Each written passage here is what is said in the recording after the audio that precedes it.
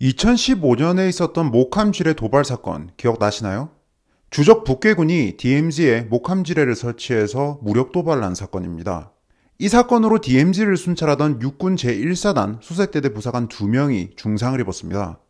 하재원 하사가 목함지뢰를 밟아서 1차 폭발로 쓰러지고 김정원 하사가 이 하하사를 구조해서 부축하다가 다시 한번 목함지뢰가 폭발합니다.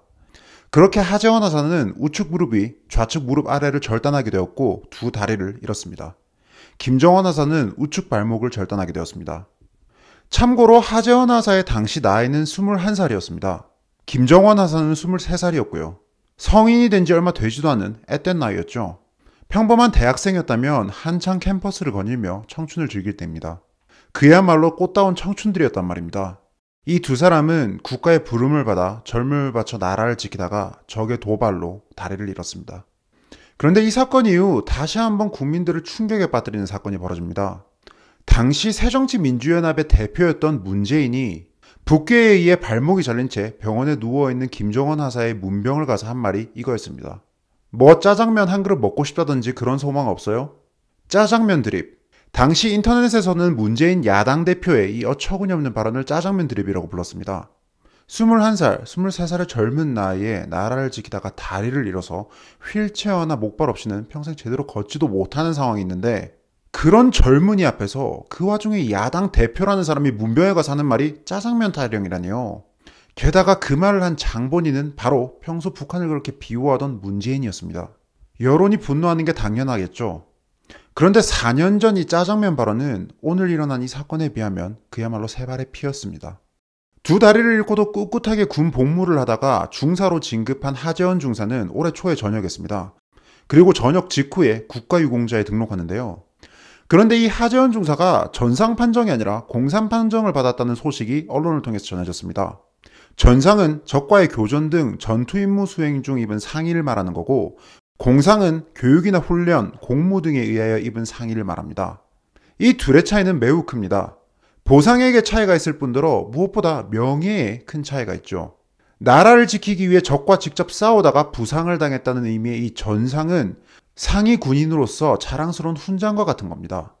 그런데 보훈처는 하재현 중사에게 전상이 아니라 공상 판정을 내린 겁니다. 이게 도대체 어떻게 된 걸까요? 언론 보도에 따르면 당시 보훈심사위원회 본회의에서 이런 발언이 나왔다고 합니다. 이전 정권에서 영웅이 된 사람을 우리가 굳이 전상자로 인정해줘야 하느냐. 다시 한번 말씀드리겠습니다. 보훈처의 보훈심사위원회에서 북계의 도발로 인해 두 다리를 잃은 청년이자 군인이자 영웅에 대해서 심사를 하는데 이전 정권 영웅을 우리가 왜 챙겨줘야 하느냐라는 취지의 발언을 했다는 겁니다. 참고로 현재 보훈처 보훈심사위원장은 민주당 출신 정진이고 상임위원회는 민변 출신 성춘일이 있습니다. 이게 무슨 말이겠습니까? 국가 유공자에 관한 심사를 하면서 정무적 판단, 즉 정치적 주관이 개입됐다는 겁니다. 쉽게 말해서 박근혜 정부 때 영웅인데 왜 우리 문재인 정부가 챙겨야 하냐 이런 겁니다. 저는 이 기사를 접하면서 그야말로 분노의 치를 떨었습니다. 하재원 중사는 남들이 연애하고 놀러 다니는 21살 때 이 국가의 부름을 받아서 청춘을 바쳐 국가를 지키다가 적군에 의해서 두 다리를 잃은 영웅입니다. 저와 여러분들을 위해서, 저와 여러분들을 대신해서 나라를 지키다가 21살의 건장한 청년이 장애인이 된 거예요. 그런데 무려 보훈심사위원회라는 곳에서 정치질을 하느라 하재원 중사의 이 고결한 희생을 깎아내린 겁니다. 어떻게 이럴 수가 있습니까? 하재원 중사는 언론과의 인터뷰에서 이렇게 말했습니다. 저에게 다리를 잃고 남은 것은 전상군경이라는 명예뿐이었다. 국가는 끝까지 책임지겠다고 약속했는데 저를 두 번 죽이고 있는 거다. 북한과의 화해 교류가 진행되고 있다고 보훈처가 이런 결정을 하는 게 말이 되느냐? 국가를 위해 몸바치고 대우를 받는 곳이 보훈처인데 정권에 따라가는 게 안타깝다. 하재원 중사는 국가가 자신을 두 번 죽이고 있다며 호소했습니다. 직접 청와대 청원까지 올린 상황이죠. 이런 꼬라지를 보고 있으면서 여러분은 지금 문재인 정부와 그 집권 세력에게 분노해야 합니다. 이 사람들 뭐든지 정치 이익적으로 판단하면서 이전 정권과 관련된 건 뭐든지 끌어내리고 해코지하고 망가뜨렸습니다. 적폐청산이라는 명목으로 대대적인 숙청도 벌였죠. 그런데 이제는 나라를 위해서 희생한 군인에게마저 영웅에게마저 이따위 짓을 하고 있는 겁니다. 북한이랑 친하게 지내겠답시고 이전 정권 영웅이랍시고 그렇게 하재헌 중사를 능멸한 겁니다. 하재헌 중사는 이미 나라를 지키다가 두 다리를 빼앗겼습니다. 그런데 이제는 나라가 그의 명예까지 빼앗겼다고 합니다.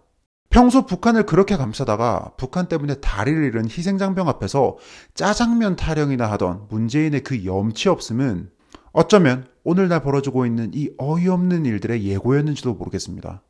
지금이야말로 물어야 할 때입니다. 이게 나라냐? 라고요. 제복을 입은 이들에 대한 존중이 없는 나라는 절대 선진국이 될 수 없습니다. 제복이란 국가, 사회, 공동체, 우리 모두에 대한 희생과 헌신을 의미합니다. 우리가 누리고 있는 이 평화로운 일상들은 이런 제복을 입은 사람들에 의해서 지켜지고 있는 거죠. 그래서 우리 모두는 이 제복을 입은 사람들에게 감사와 존경을 표할 의무가 있습니다. 선진국 국민들은 이런 제복을 입은 사람들, 특히 군인들을 어떻게 대우하는지 인터넷을 통해서 다양한 자료들을 통해서 접해 보셨으리라 생각됩니다. 우리는 어떤가요?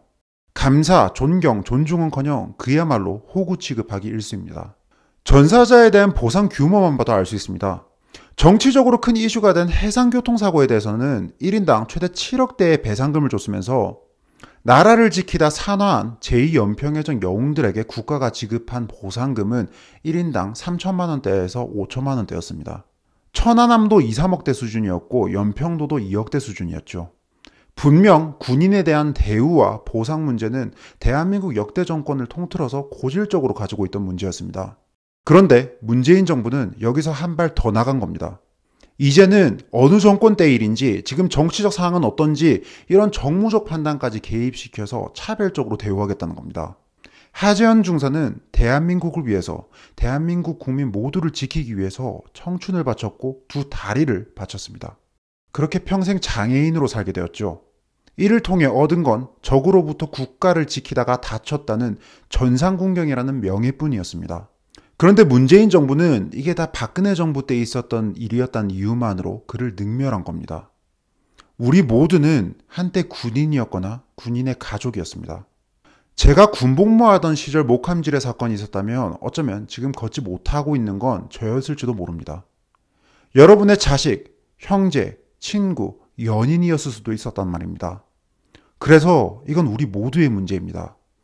하재현 중사가 그 명예를 회복할 수 있도록 도와주십시오. 그리고 정치질 하느라 그의 명예를 깎아내린 이들을 찾아내서 처벌할 수 있도록 도와주십시오. 하재현 중사는 두 다리를 잃고도 꿋꿋하게 4년간 군복무를 하다가 전역하며 이렇게 말했습니다. 장애인 조정 선수로서 패럴림픽에 나가 금메달을 목에 거는 것이 목표이자 꿈이라고요.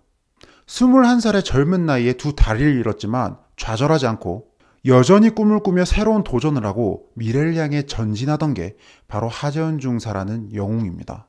그런 사람이 피눈물을 흘리도록 만드는 게 지금 대한민국이고 문재인 정부입니다.